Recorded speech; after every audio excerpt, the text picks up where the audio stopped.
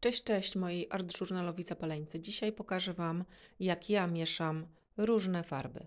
Będę używała farb akrylowych jako pierwszą warstwę mojej pracy.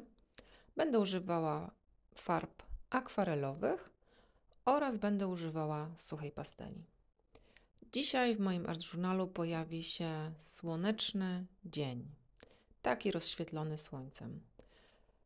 Próbuję w moim tle dodać trochę faktury. Używam do tego kredki akwarelowej oraz pisaka akwarelowego.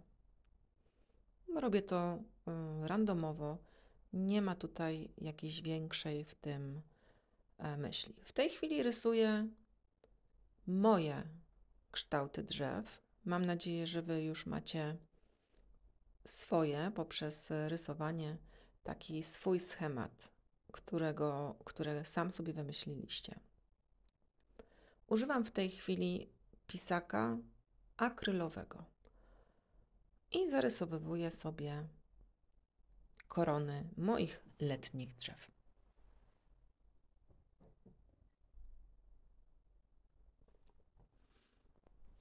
Całość wypełniam bielą, tak żeby y, to tło, które jest pod spodem, delikatnie się wybijało, dlatego że pisaki mm, mają w sobie taki tusz, który będzie nam wychodził.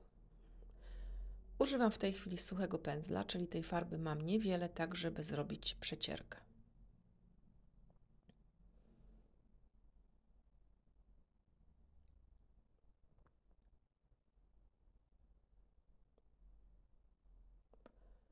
Bardzo lubię szablony i tymi szablonami wypełniam moje drzewa w środku, tak, żeby zasugerować gałęzie, czy po prostu inną strukturę tych drzewek w środku. Wracam teraz do akwareli i akwarelka ma to do siebie, że w tych wszystkich zagłębieniach, które wcześniej wykonałam ołówkiem, będzie pięknie pracowała, będzie e, wydobywała to, co wcześniej było narysowane.